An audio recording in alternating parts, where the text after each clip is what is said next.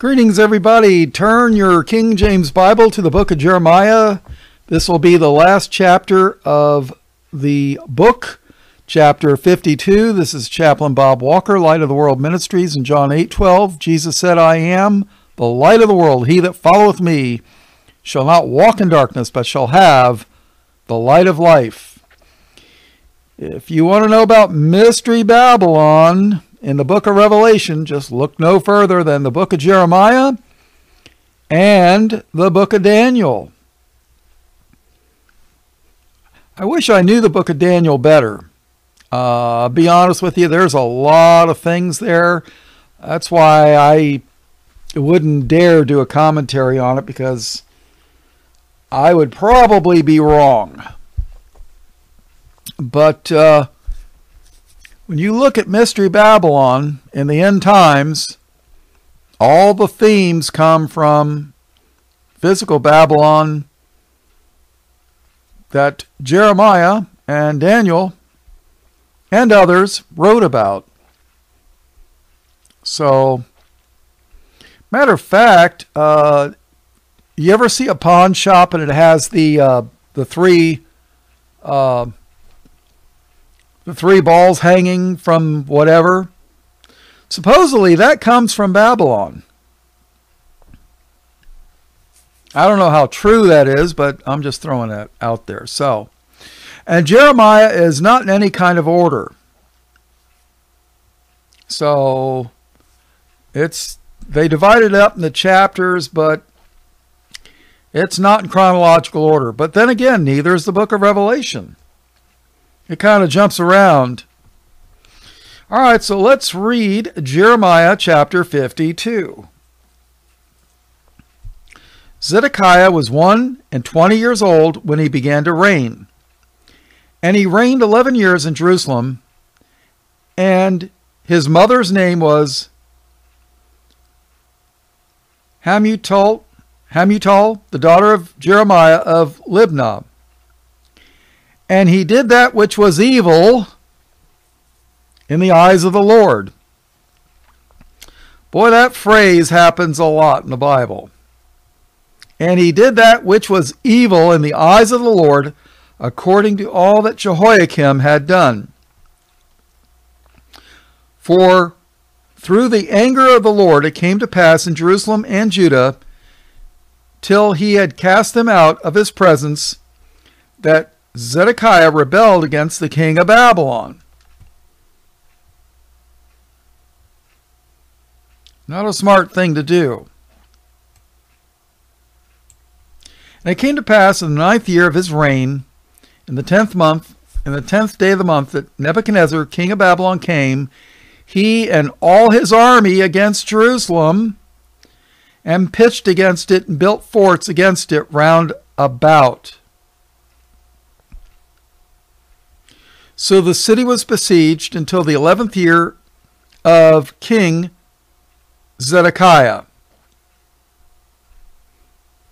Well, you know, when you besiege a city, no food is getting into the city. That's just the way it is.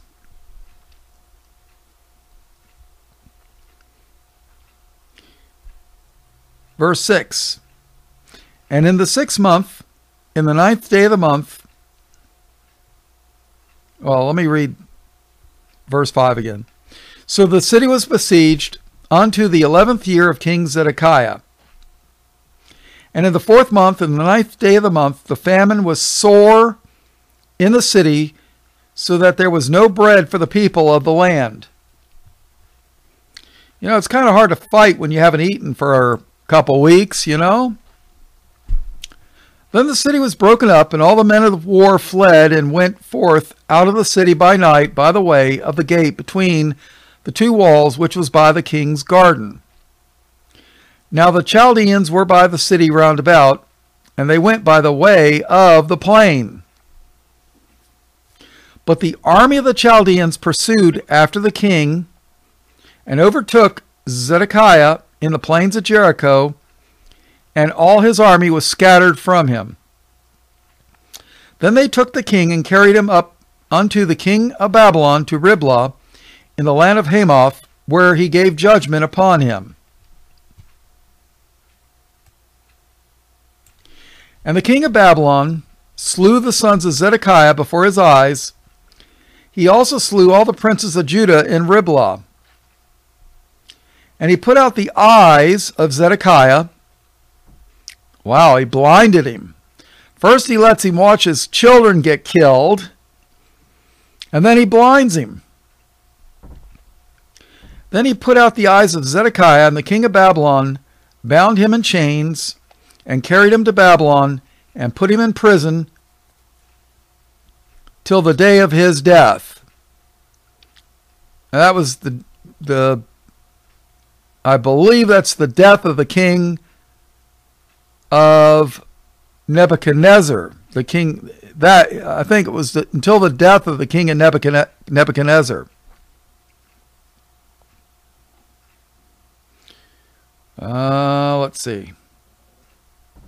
Now in the fifth month, in the tenth day of the month, which was the nineteenth year of Nebuchadnezzar, king of Babylon, came Nebuzaradan, captain of the guard, which served the king of Babylon, into Jerusalem, and he burned the house of the Lord, and the king's house, and all the houses of Jerusalem, and all the houses of the great men burned he with fire, and all the army of the Chaldeans that were with the captain of the guard break down all the walls of Jerusalem round about. Yep, they tore down the walls. They said, you know what? This ain't going to happen again. Then Nebuzaradan, the captain of the guard, carried away captive certain of the poor of the people and the residue of the people that remained in the city, and those that fell away, that fell to the king of Babylon, and the rest of the multitude. Then Nebuzaradan, the captain of the guard, left certain of the poor of the land for vine dressers and for husbandmen. So, yeah, you leave the poor of the land, you know, they're not going to make any trouble for you. And you let them uh, tend the gardens and the orchards. You know, that's what a husbandman is. And, you know, they'll tend the gardens and the orchards, the trees and the, the, uh, the great vineyards and what have you. So, verse 17. Also, the pillars of brass that were in the house of the Lord and the bases, and the brazen sea that was in the house of the Lord, the Chaldeans brake and carried all the brass of them to Babylon. The cauldrons also, and the shovels, and the snuffers, and the bowls, and the spoons, and all the vessels of brass wherewith they ministered, took they away. And the basins, and the fire pans, and the bowls, and the cauldrons, and the candlesticks, and the and the spoons, and the cups. That was that which was of gold in gold, and that which was of silver in silver, took the captain of the guard away. Now remember when uh, Belshazzar drank from the cups of the Lord's temple? Probably golden cups and silver cups. Remember, Babylon hath been a golden cup in the hand of the Lord. So they took them all they took everything of value to Babylon. Now I wouldn't have thought brass would have been that uh, valuable, but evidently they thought it was valuable enough to take it away. So Verse 12, uh, verse 20. The two pillars, one sea and twelve brazen bulls that were under the bases, which King Solomon had made in the house of the Lord, the brass of all these vessels was without weight. In other words, it was so heavy, they didn't even bother to weigh it. And concerning the pillars, the height of one pillar was 18 cubits, Uh, a cubit is about half a meter or 18 inches approximately. And a fillet of 12 cubits did compass it, and the thickness thereof was four fingers, it was hollow. And a chapiter of brass was upon it, and the height of one chapiter was five cubits, with network and pomegranates upon the chapiters round about, all of brass. The second pillar also and the pomegranates were like unto it. So, uh, chapiter is uh, an architectural an architectural word. It means the up the upmost part of a column uh, upon which the roof is supported. So usually they do something fancy, you know, when they uh, when they have that. All right, so let's go back. The second pillar also and the pomegranates were like unto these. Verse 23. And there were ninety and six pomegranates on a side, and all the pomegranates upon the network were an hundred round about. And the captain of the guard took Seraiah the chief priest, and Zephaniah the second priest, and the three keepers of the door. He took also out of the city an eunuch which had the charge of the men of war, and seven men of them that were near the king's person, which were found in the city, and the principal scribe of the host, who mustered the people of the land, and threescore men of the people of the land that were found in the midst of the city. So Nebuzaradan, the captain of the guard, took them and brought them to the king of Babylon to Riblah. And the king of Babylon smote them and put them to death in Riblah in the land of Hamath. Thus Judah was carried away captive out of his own land. Now remember, these these priests were allowing all this. You know, did they warn the people of God's judgment? Did they tell him uh, the people God's law to turn from their evil, wicked ways? Were they being faithful to the Lord's work? Well, if they were, God probably wouldn't have put them to death, but he did. Verse 28. This is the people whom Nebuchadnezzar carried away captive. All right, verse 28. This is the people whom Nebuchadnezzar carried away captive in the seventh year, 3,000 Jews and 3 and 20. In the 18th year of Nebuchadnezzar, he carried away captive from Jerusalem 820, 830 and two persons. In the three and twentieth year of Nebuchadnezzar, Nebuzaradan, the captain of the guard, carried away captive of the Jews 740 and five persons. All the persons were 4,600. And it came to pass in the seventh and thirtieth year of the captivity of Jehoiakim, king of Judah, in the twelfth month, in the five and twentieth day of the month, that evil Merodach, how's that for a name? Evil Merodach, king of Babylon, in the first year of his reign, lifted up the head of Jehoiakim, king of Judah, and brought him forth out of the prison, and spake kindly unto him, and set his throne above the thrones of the kings that were with him in Babylon, and changed his prison garments, and he did continually eat bread before him all the days of his life. And for his diet there was a continual diet given him of the king of Babylon every day a portion until the day of his death, all the days of his life. Now, Nebuchadnezzar put Jehoiakim, king, into prison.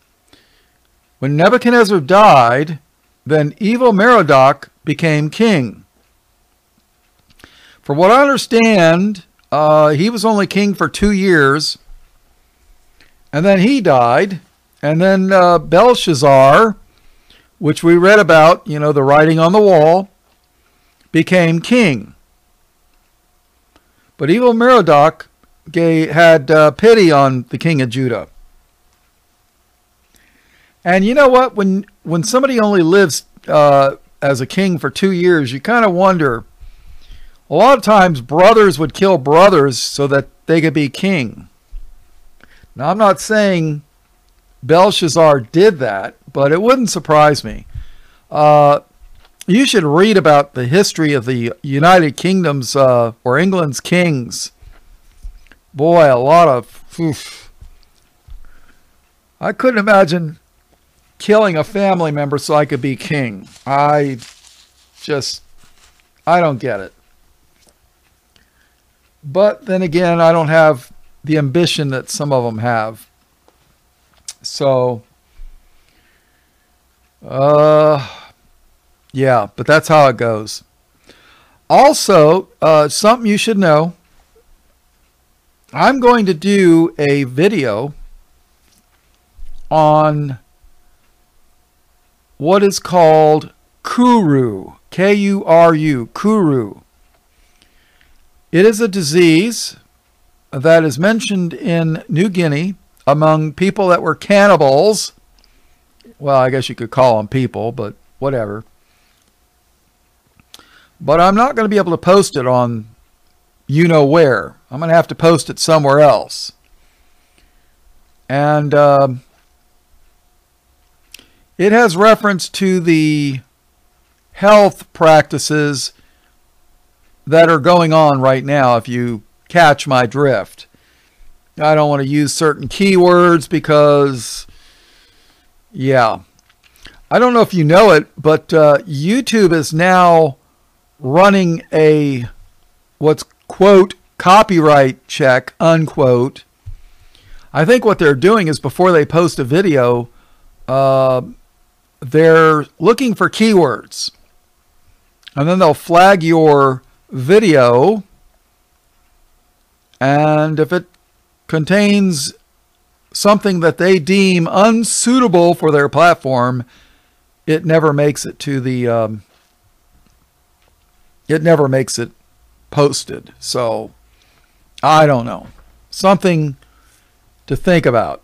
But I'm going to I'm to talk about the um, health practices going on now and the possible connection of Kuru. Uh, in cows, Kuru is called mad cow disease. Yeah. And then deer have been showing up with what they call chronic wasting disease. Kuru is comes from eating if we could trust the science, infected uh, meat. Very interesting. So, I don't know. So keep an eye on it. I'm probably going to post it to archive.org as far as I know. There is almost nowhere else to post stuff. It's getting bad getting real bad. I had high hopes for uh, um, uh, Brighteon. That turned out to be a waste. And then I had uh, BitChute. I had high hopes for that, but they're they're useless. You know, people, I've spent months loading videos, and they just delete them. Months. And it's not just the tube, it's it's a lot of the platforms. So it's getting to be unprofitable, a waste of time. That's why I tell you, get a King, get your, hide some King James Bibles away. Hit the used bookstore. I bought Bibles for two and three dollars. You know? Of course, that's back when my eyes were decent. I need large print now. I don't like wearing glasses. Um, I spoke to an, a guy that was an eye doctor, and he says, You know what? He says, once you start wearing doc- eyeglasses, he says, your eyes are going to get lazy And he says every year you'll have to get new glasses because it'll be a little bit stronger, a little bit stronger. He says once you start wearing them, you're going to have problems. I mean, yeah, if you want to put them on for half an hour to read, that's fine. But when you start wearing them all the time, your eyes will get lazy. Yeah.